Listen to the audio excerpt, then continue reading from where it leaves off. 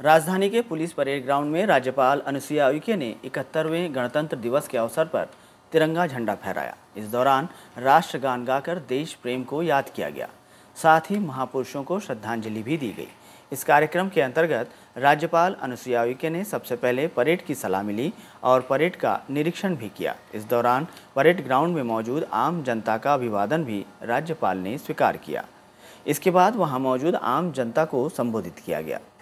साथ ही प्रदेश के विकास की उन्होंने जानकारी दी। राज्यपाल ने अपने संबोधन में कहा कि मैं भारतीय सेना और सुरक्षा बलों के उन अमर शहीदों को भी नमन करती हूँ, जिन्होंने अपने प्राणों का बलिदान देकर देश की रक्षा की और उन तमाम जवानों का अभिनंदन किया है, जो सीमाओं पर तैनात रहकर हमारे देश की एकता और अखंडता की रक्षा कर रहे हैं।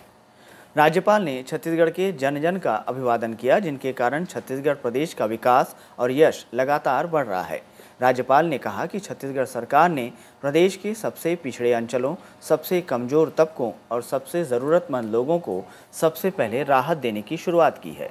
लोहंडीगुड़ा में ज़मीन वापसी, चार हज़ार रुपये प्रतिमानक बुरा तेंदुपत्ता संग्रहण पारिश्रमिक, निरस्त वन अधिकार दावों की समीक्षा, सामुदायिक वन अधिकार पट्टों की स्वीकृति में तेज़ी, निर्दोष आदिवासियों को आपराधिक प्रकरणों से मुक्ति 22 लघु वनोपजों की समर्थन मूल्य पर खरीदी, मुख्यमंत्री सुपोषण अभियान, मुख्यमंत्री हाट बाज़ार क्लिनिक योजना जैसे अनेक फैसलों का अच्छा असर हुआ है।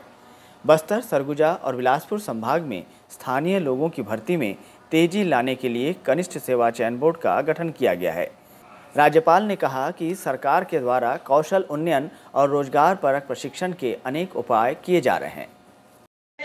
बेहद खुशी हो रही है कि मेरी सरकार ने विगत वर्षों में ऐसी नई पहल की है जिसके कारण प्रत्येक नागरिक को समान अवसर और न्याय मिलने का विश्वास हुआ है।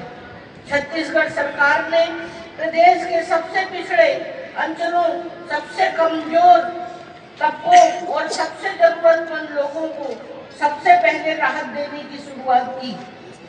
है रोहंडी गुड़ा में ज़मीन वापसी, चार हज़ार रुपए प्रति मानक बोरा तेंदु पत्ता, संग्रहण, पारिश्रमिक निरस्त वन अधिकार दावों की समीक्षा, सामुदायिक वन अधिकार पट्टों की स्वीकृति में तेज़ी, निर्दोष आदिवासियों को आपराधिक प्रकरणों से मुक्ति 22 लघु वन उपजों की समर्थन मूल्य पर खरीदी, मुख्यमंत्री सुपोषण अभियान मुख्यमंत्री हाट बाज़ार क्लिनिक योजना जैसे अनेक फैसलों का अच्छा असर हुआ है।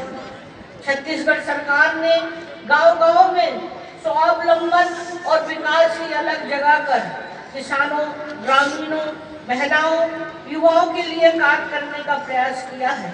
पच्चीस सौ रुपये में धान खरीदी तथा कर्ज माफ़ी जैसे फैसलों से किसानों का मनोबल बढ़ा है।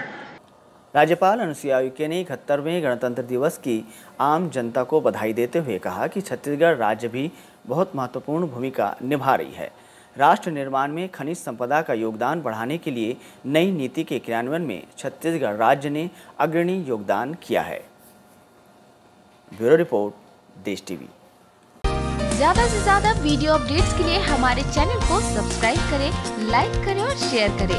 न्यूली अपडेट्स के लिए बेल आइकॉन का दबाएँ। Desh TV we report you decide